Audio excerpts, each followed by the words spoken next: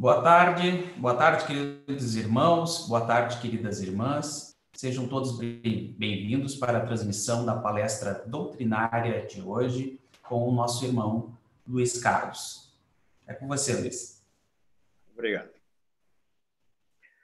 Boa tarde, meus irmãos, minhas irmãs, da nossa querida Casa de Paz e Amor, e demais irmãos de outras casas espíritas que nos prestigiam neste momento através da internet. Canal este que nos liga, apesar de estarmos com as casas espíritas fechadas, estarmos separados fisicamente, estamos juntos graças a essa conexão em que podemos conversar um pouco sobre a nossa doutrina espírita e assim mantermos nossa união e ficando também mais receptivos ao amparo dos benfeitores espirituais, que certamente estão nos atendendo da mesma forma como se estivéssemos dentro da nossa casa de paz e amor.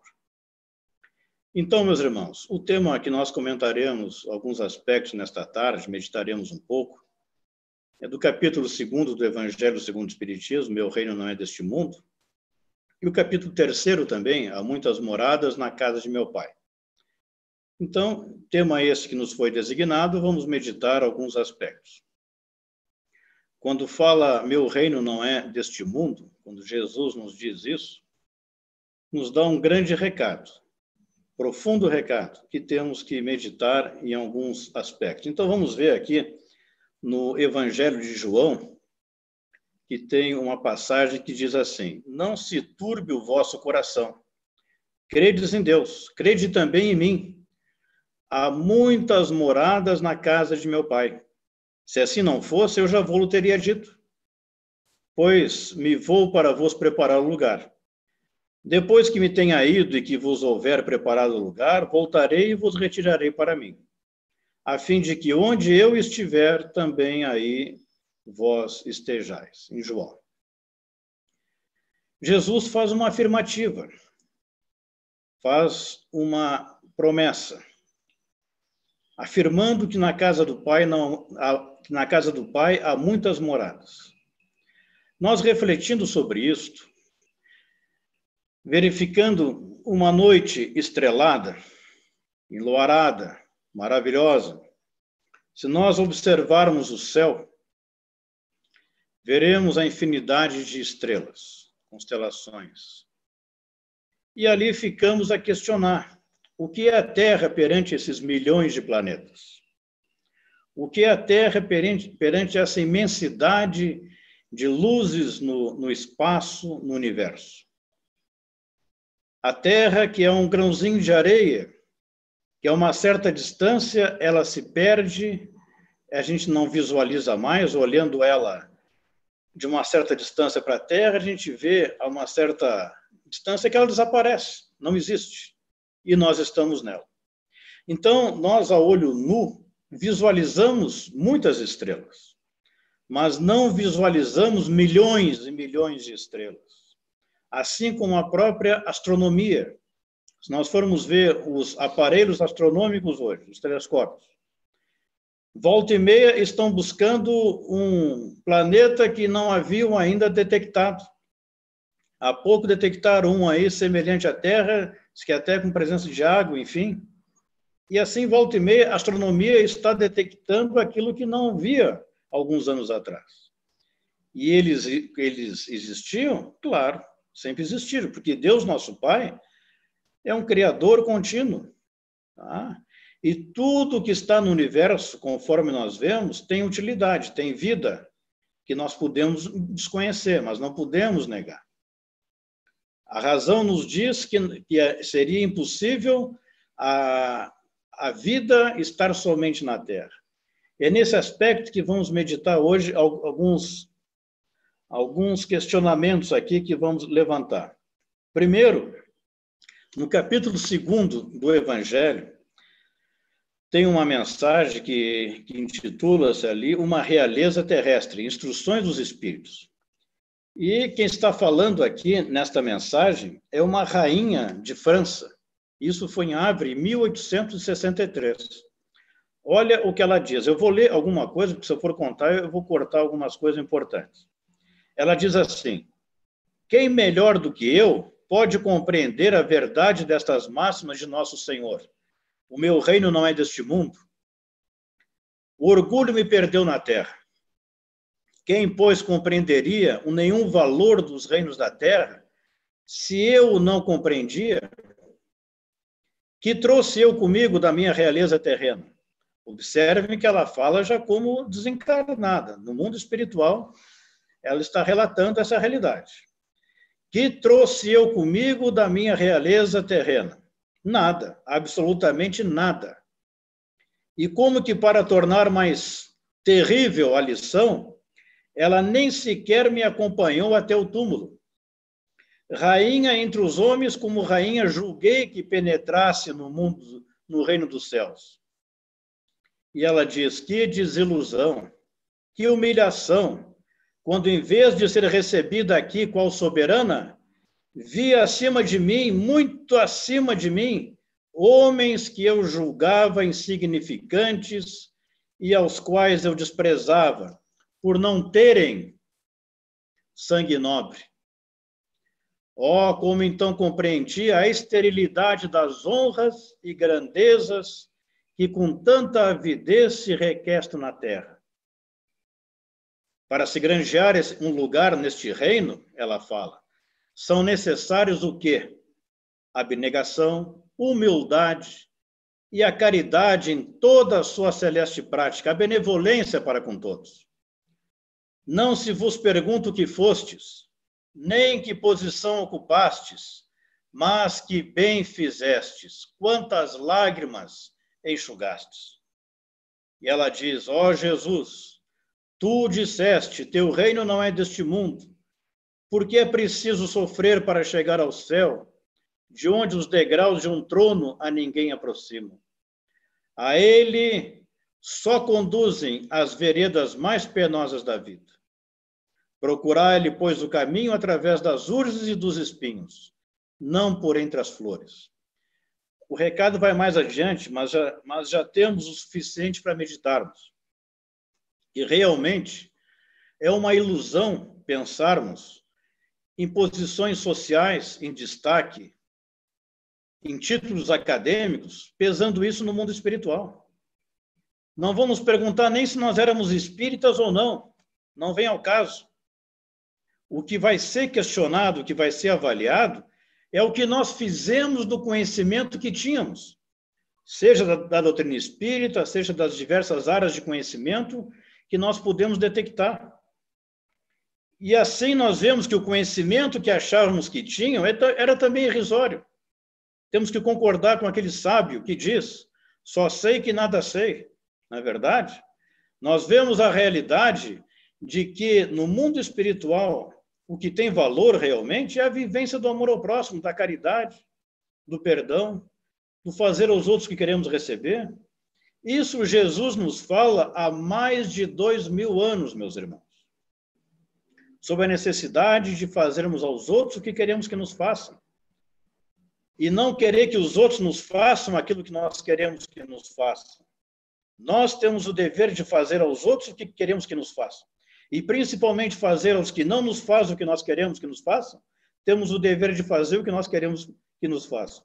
Não sei se eu enrolei o meio de campo aí, mas o grande recado é esse. Temos que fazer aos outros o que queremos que nos façam. Ponto.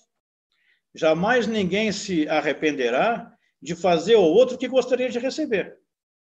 Pode até errar, né? pode até fazer alguma coisa para o outro que gostaria, mas que o outro não, não gostou. Mas a intencionalidade foi boa.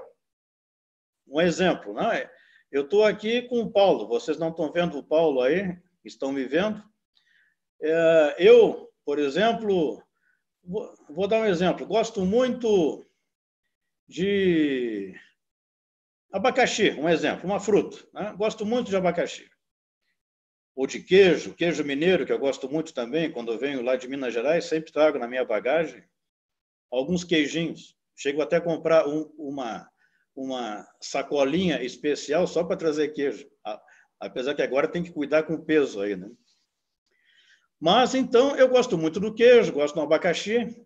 E venho de Minas lá e trago para o Paulo um queijo, por exemplo. Ou um abacaxi também, que em Minas Gerais, lá no, no mercado de Minas Gerais, aquele abacaxi lá que a gente come, que nem um picolé, assim, que eles partem na hora, fica geladinho, é excelente. Fica a dica aí para quem for a, Minas, Belo Horizonte, o mercado público lá. Bem, eu chego aqui, tenho um queijo que eu gosto muito, canastra, e vou presentear o Paulo com queijo. Mas o Paulo não gosta de queijo. Não é o gosto dele. Eu estou só falando, né? nem, nem sei se ele gosta ou não. Mas eu dou para o Paulo de presente um queijo. E, e o Paulo, por, por educação, me agradece, sorri, porque só as crianças falam a verdade, dizendo, não, mas eu não gosto de queijo. Mas o Paulo não fala isso, ele, por educação, aceita. Né? Se não gosta, ele vai dar para a Grace lá comer, que a Grace deve gostar, enfim.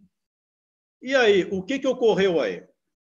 Eu tive a boa intenção de dar uma coisa que eu gosto, que eu sei que é muito boa para ele. Mas ele não gostou.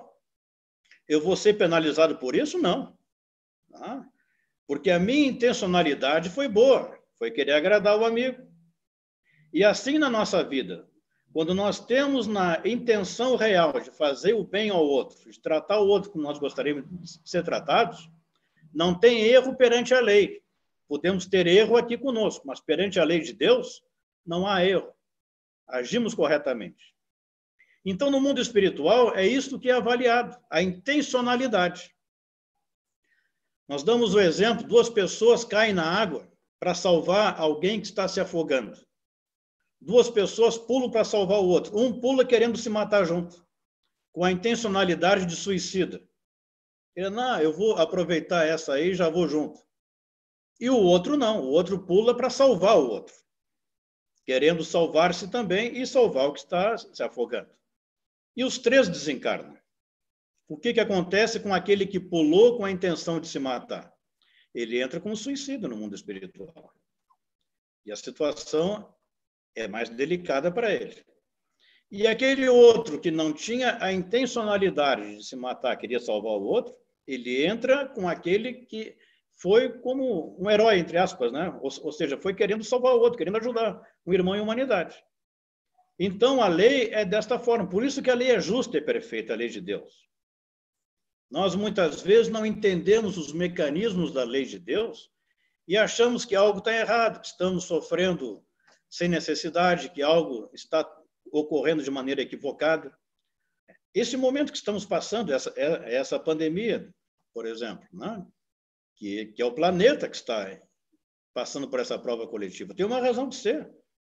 Não sabemos a causa, mas certamente Deus está permitindo, senão isso não ocorreria. E tem uma razão justa de ser, uma necessidade para a nossa evolução espiritual, para a evolução do próprio planeta. Então, meus irmãos, na nossa vida, nós vamos entendendo a realidade de Deus na, na, na medida em que nós vamos vivendo esses ensinamentos de Jesus. Ou seja, quando nós começamos a procurar enxergar no outro aquele que tem as mesmas possibilidades que nós temos de crescer, de evoluir, que tem o mesmo direito de errar como nós temos, começamos a aceitar o outro como ele é, como queremos ser aceitos como nós somos, passamos a viver de uma forma mais consciencial. Ou seja, todos estamos num processo de aprendizado, de crescimento, mas nem todos valorizam esse processo de aprendizado, de crescimento. Tem aqueles que enfrentam as suas dores com revolta, com pessimismo, com desânimo, né? Vivendo na lei de Murphy, ou seja, sempre pensando isso não vai dar certo, comigo não vai funcionar, eu não vou conseguir, eu não vou acertar. E tem outros que vivem na lei de Jesus, na frequência do mestre Jesus, ou seja, eu vou vencer, eu tenho condições, eu vou superar. Eu não estou sozinho, eu tenho amigos espirituais. Eu estou com o mestre Jesus, estou com Deus e tudo vai dar certo. Então, dessa forma, nós começamos a ajudar aqueles que estão a nos ajudar, através de um pensamento positivo, através de uma vivência positiva.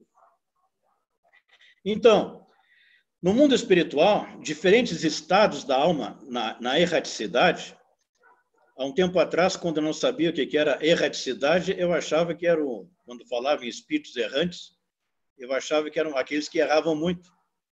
Mas depois eu vi que o estado de erraticidade é, é os que estão aguardando a reencarnação. Então, o que, que Jesus nos fala que na casa do Pai há muitas moradas? Sabemos que a casa do Pai qual é? É o universo. As diferentes moradas são os mundos que circulam este espaço infinito. Como já falei há poucos, tem uns que nós vemos, tem outros que nós não vemos. Né? Assim como o ar que aqui está, que eu estou recebendo, que os meus irmãos estão recebendo, graças a eles continuamos encarnados, né? reencarnados. Nós não vemos, mas ele é essencial na nossa vida, ele não pode faltar. Se faltar, nós vamos ver como é o mundo espiritual de novo, recordar. Né? E assim é a vida. Tem coisas que nós não vemos. Eu, por exemplo, não estou vendo os irmãos que estão me vendo, mas eu sei que vocês estão aí. Tá?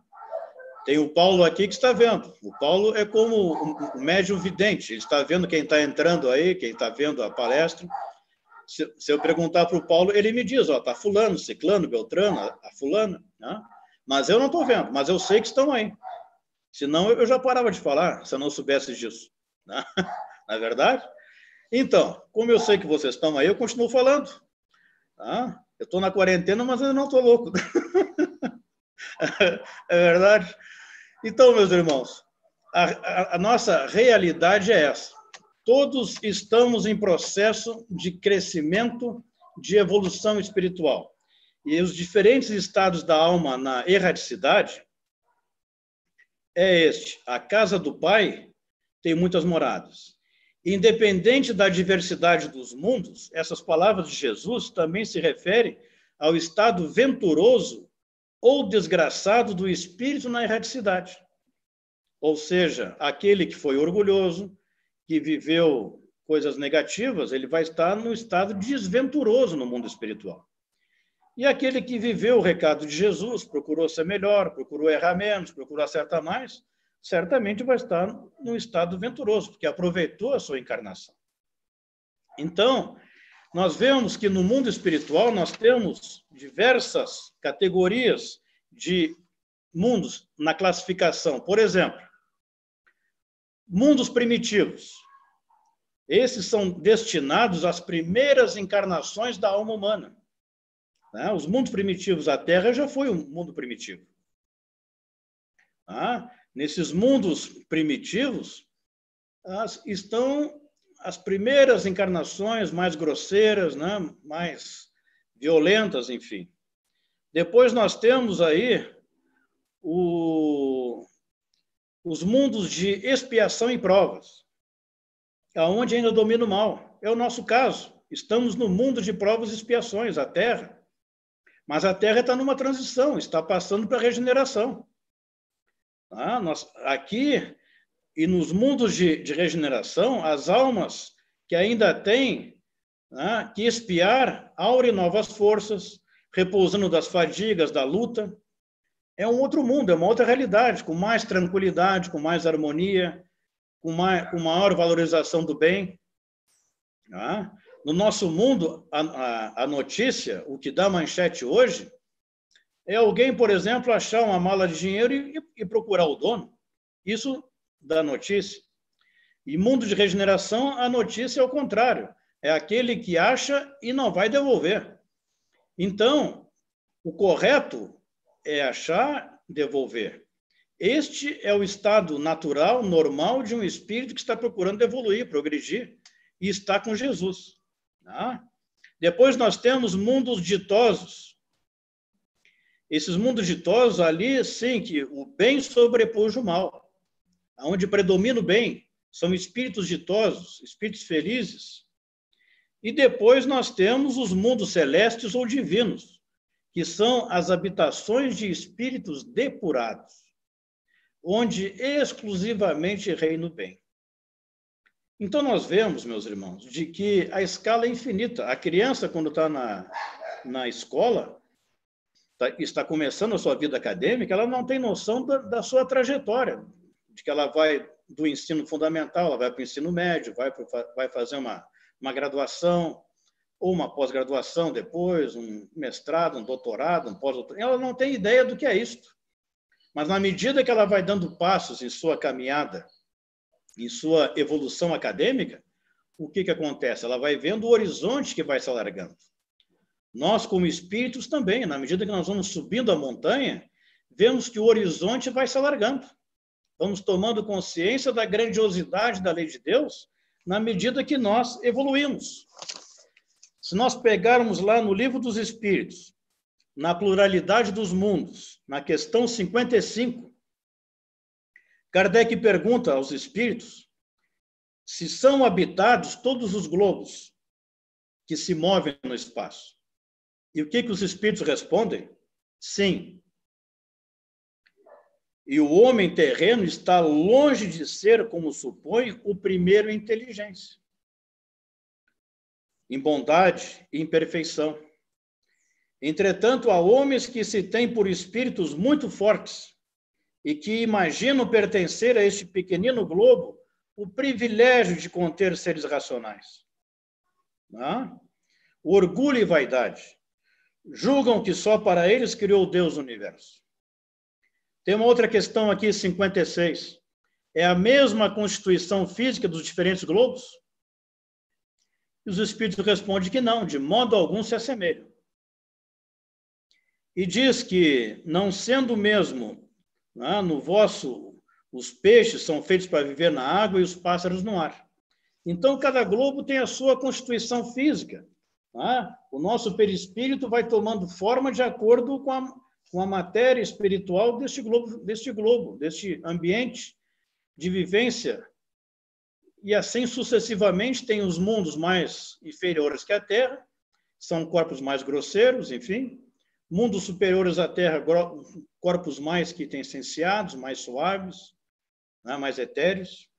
Tem um livro que eu gostaria que, de recomendar aos irmãos, que eu costumo falar, que é o segundo livro que o Chico Xavier recebeu. Poucos, poucos leiam, poucos leram, poucos conhecem, mas os que já leram, os que conhecem, sabem do valor dele. O primeiro livro, você sabe, foi o Parnaso de Além Túmulo, que o Chico recebeu os poetas, né? Mais de 56 poetas, enfim. Mas o segundo livro é este aqui, que eu vou colocar para vocês verem a capa. Olha só. Perdoe a capa que é antiga. Estão, vendo aí o, o nome? Tá? Cartas de uma Morta. Recebida por Chico Xavier, uma preciosidade. Autora espiritual do livro é a mãe do Chico, Dona Maria João de Deus que descreve quando desencarnou, como foi socorrida no mundo espiritual. Muito antes de André Luiz, ela já nos fala da realidade do mundo espiritual, quando foi socorrida, os ambientes em que esteve. E tem uma passagem aqui interessante que nos fala, ela, ela nos conta de uma passagem sua em Saturno. Olha o que ela fala. Um dos planetas cuja constituição mais me impressionava, quando raramente me entretinha com essas questões na Terra, era Saturno. Então ela pediu para o seu mentor espiritual, se possível, que ela queria conhecer. E aí ela, ela fala aqui que bastou que fixássemos em nossa mente semelhante desejo para que me visse ao lado de um boníssimo companheiro, envolto em atmosfera diferente da que me era habitual, nas adjacências da Terra. O Sol azulado de Saturno. Vi-me então numa superfície diversificada, onde parecia pisar sobre o amontoado de massas mais ou menos análogas ao gelo, sentindo-me envolvido numa atmosfera singular. Avistei muito distante, como um novelo de luz levemente azulada, o Sol, Todavia, só pude saber que se tratava desse astro porque o esclarecido mentor me falou. E eu vi a diferença que me constatava. A luz se espalhava por todas as coisas, mas o seu calor era menor, dando-me a impressão de frescura e amenidade, tonalidades de um rosa pálido e de um azul indefinível. Então ela fala que o sol lá não é esse nosso sol aqui que fica um tempo nele, ele queima temos que ficar um tempo determinado durante o dia, porque a vitamina D é bom, é importante, mas não podemos ficar o dia todo, senão vamos ficar literalmente torradinhos. Né? Mas em Saturno pode ficar, que é um sol que não queima, produz uma, uma vibração suave, que acalma, que refrigera, um bem-estar que ela fala. Ela diz lá que o mundo é sem clorofila. Ela diz também que o dia é de 10 horas. Imagina um dia de 10 horas, né? E ela fala também, eu estou só vendo as, a, os títulos das mensagens que ela manda, uma mediunidade generalizada. Ou seja, chegado a certa idade, os saturninos ouvem os espíritos, seus irmãos das outras esferas do sistema, existindo entre eles a mais poderosa mediunidade generalizada. Diz que lá a saúde é plena também. Tá? Os médicos não têm vez lá. A saúde é plena, né? é, um, é um ambiente favorável à paz, à harmonia, por tudo que transcorre naquele ambiente. Então, isso nós ficamos sabendo com Maria João de Deus, através de Chico Xavier, no livro Cartas de uma Morta, lá em 1930 e poucos. Nosso lar veio em 40 e poucos, 1940 e poucos, na época da Segunda Guerra, né? Então, meus irmãos, meditamos sobre essa realidade. Estamos num planeta que o governador chama-se Jesus. E Jesus está nos amparando está nos protegendo. Tá? Assim como a Terra está sob proteção e amparo, todos os planetas estão sob proteção e amparo, porque Deus, nosso Pai, jamais criaria alguma coisa inútil, ou a ociosidade, ou a inutilidade. Então, tudo tem a sua razão de ser. É claro que o que nós sabemos hoje é a ponta da ponta da ponta da ponta do iceberg. Tá? Mas já é suficiente esse conhecimento para nos dar base, nos dar estrutura, nos dar bom ânimo para perseverar nas pegadas do Mestre Jesus e melhorar a nossa condição espiritual. Eu agradeço aí a todos os irmãos pela, pela presença à distância, né? podemos dizer presença à distância, que estamos juntos. Né? Agradeço pela atenção, que Deus abençoe a todos nós que possamos perseverar nessa caminhada do amor ao próximo, que Jesus nos fala há mais de dois mil anos. Vamos fazer uma prece e encerrar o nosso trabalho da tarde. Mestre amigo Jesus, te agradecemos, Senhor, a oportunidade que nos dá de estarmos nesta tarde meditando né, em torno da tua mensagem, da tua lei, da lei de Deus, nosso Pai, através desta ligação com a internet e com a corrente espiritual da paz e amor, que certamente está nos amparando, nos assistindo a todos. Envia, Senhor, sobre todos nós, tuas vibrações de paz, de amor, e que possamos reter em nossos corações e assim seguindo a nossa vida com muita fé, perseverança e otimismo. Graças te damos, mestre amigo, graças a Deus, nosso Pai, e aos amigos espirituais da paz e amor. Boa tarde a todos, paz e amor.